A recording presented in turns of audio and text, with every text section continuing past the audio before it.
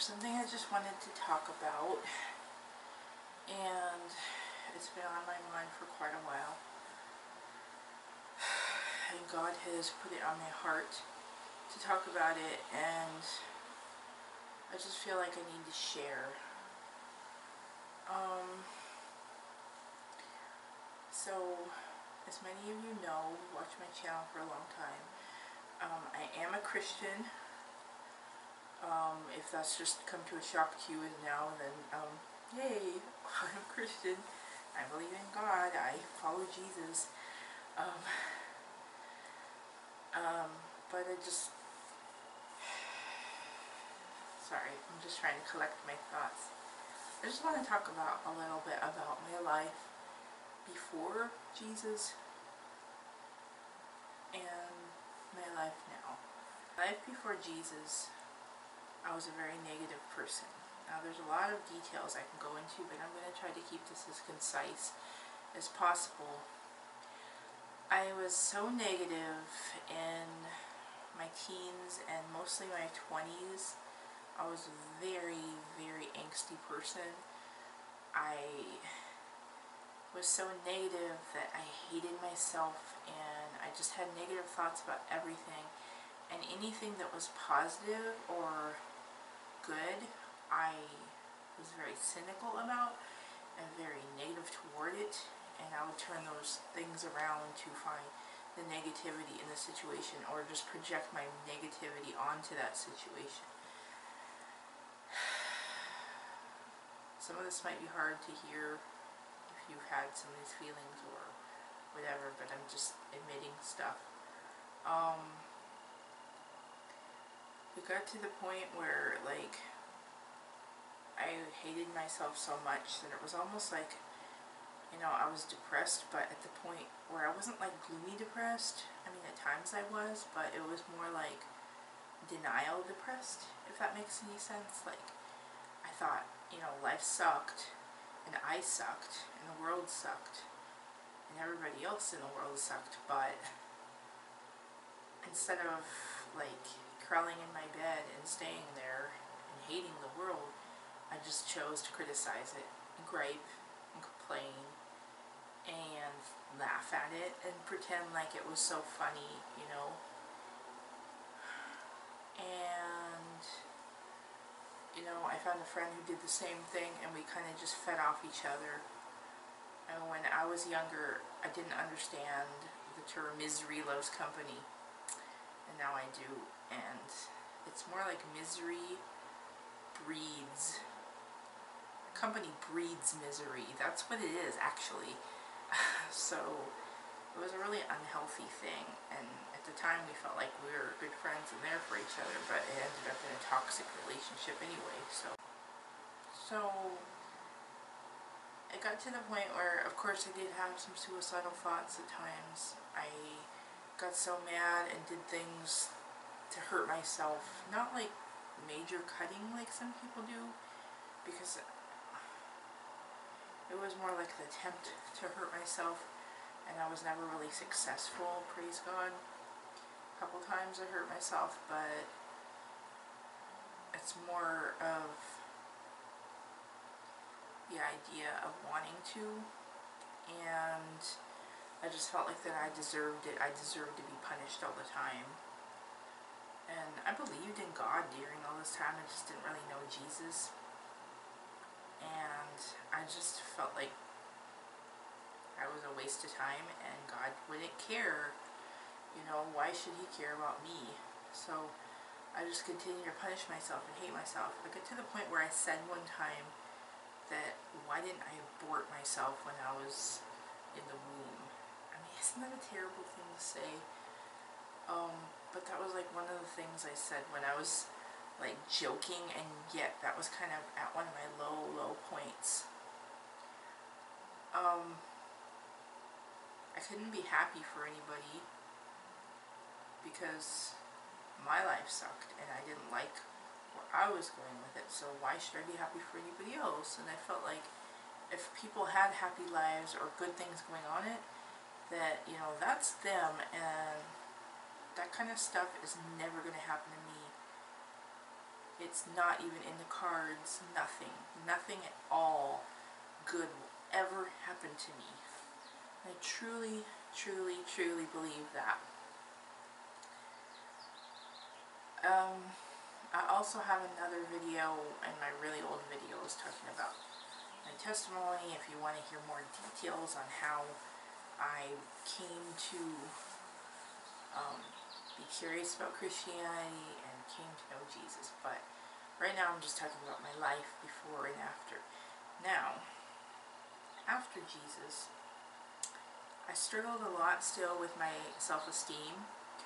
I struggled a lot with changing things, but I felt Jesus changing me. I felt him stirring up something inside of me and it helped me to grow and die to those old feelings. And I still get them once in a while, you know, like small inklings, but it's not nowhere near anything like it was. Like, I feel like I have worth now as a person. I feel like I have love and I know that God loves me and I know that I'm important to Him and I know that He's going to use me for something and I know that He has delivered me many times. He's created a future for me. I'm living my future now that I didn't think I would. Um, and He's going to continue to create a good future for me. And I have peace and confidence in that now because before it was just nothing. It was just like a black hole. My favorite word used to be shame spiral. I always said I was stuck in a shame spiral. I think I heard that from a movie somewhere, but just, it was like that. Like, I was constantly in a black hole or like a tornado or maelstrom just spinning around. And now it's like, I get little jabs and pangs of of old feelings, but then I remember that God is way bigger than anything I could ever feel. And then pray, take some deep breaths, try to center myself, and I know He's going to help me through it. Do things take me over, and do I still have anxiety? Yes. But I try, I'm trying to work on that this year especially, just to get through some of these feelings, because at times I feel like they're too big, you know, like they're just, the anxiety is just too big, and I can't even give it over, or like, it's not going to go away fast enough. And I admit that those are the times that I'm probably just not trusting enough. But I feel like I am, so so it's a constant, what I'm trying to say is, it's not completely black and white, you know, from my past to now. It is a big change now as compared to my past. I still have little struggles, but these struggles are so small compared to the way they used to be.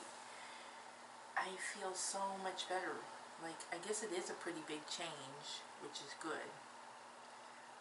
Because I always felt like I was missing something, and I felt like I was trying to fill voids, you know, and always look for the next new thing that I can enjoy or get into, or the next thing I can just pour my negativity into, or whatever. And now it's like, I do get those feelings again, you know, where I'm like, yeah, what, what's next, you know. But it's more like, I have something to look forward to in the future. And every day I have life to look forward to with my family and God and just knowing that I know how the story ends. Even in the midst of chaos in this world, I know that God is going to take care of me and my family and the rest of you know, whoever believes in him, he's going to help us through this. And I trust that.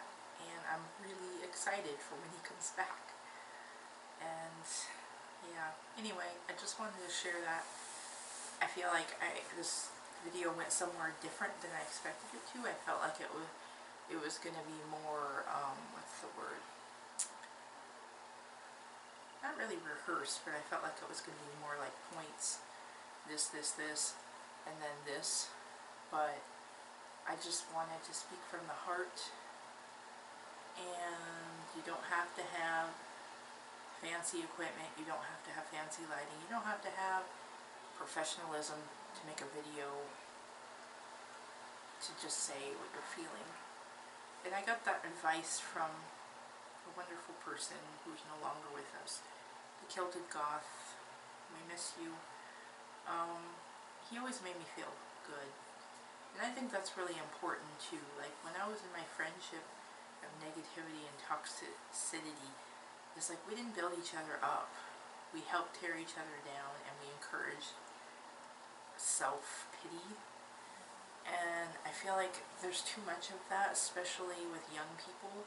And I feel like we need to support each other and build each other up. If one person's feeling down, build them up. Find something that they're doing that you really enjoy or something you like about them and just tell them and help them to feel good inside. Help them to just feel more confident and at peace and bring them out of these feelings that they have of inadequacy and fear. Because when somebody gives you a compliment or somebody, you know, tells you, hey, it's okay, you're doing just fine, you know, it can lift a weight off your shoulders and it can make you feel so much better because otherwise you get into that shame spiral and just spiral down and start all this bad self-talk and the tape recorder starts in your mind. But when you have somebody there to, to help you with that, it's just an amazing feeling. So thank you to those who have done that for me, you know, in life and the past and the present and the future. And those of you who are always commenting such sweet comments and I love talking to you guys in the comments. I'm just very grateful for you all. Thank you. Love you. God loves you.